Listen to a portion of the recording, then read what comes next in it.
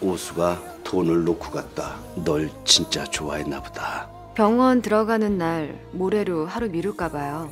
그때 오수는 널 빼고 가자는데 너 이번이 진짜 마지막이다. 형한테는 아무 말 말고 오수는 형님만 모릅니다. 형님이 이렇게라도 지들을 지켜준 거. 오수 오빠 봤어.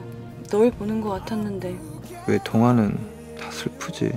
영희야, 너 무슨 일 있니? 사기를 치지. 사랑을 하게 하지.